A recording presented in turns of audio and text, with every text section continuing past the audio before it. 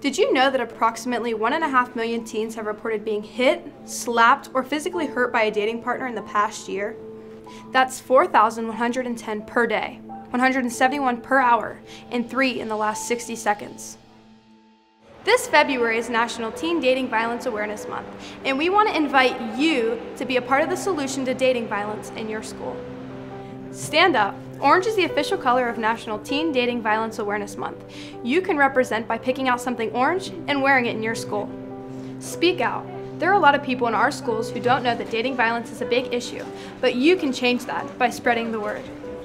Represent truth. Grab a piece of paper or cardboard and let us know what you represent and what you don't represent. Here's my sign. I represent generosity and not selfishness. Once you've created your sign, we'd love to see it. Students are encouraged to post their statements on social media and create a hashtag I represent wall in their classroom to display their statements. Classrooms that create a hashtag I represent wall will be eligible for a drawing to win a $100 gift card to a pizza shop of their choice. Students who post to Instagram and tag OK Inc. will be eligible for a drawing to win a $50 gift card. We can't wait to see what you represent during National Teen Dating Violence Awareness Month.